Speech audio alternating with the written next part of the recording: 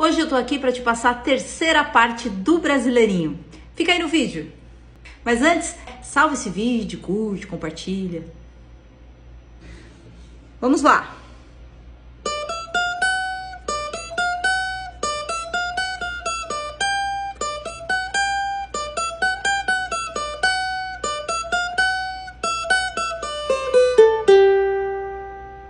Ó, vou fazer com a câmera aberta agora para você ver as minhas duas mãos quando eu tocar a corda solta, tá? Vamos lá, bem devagarinho.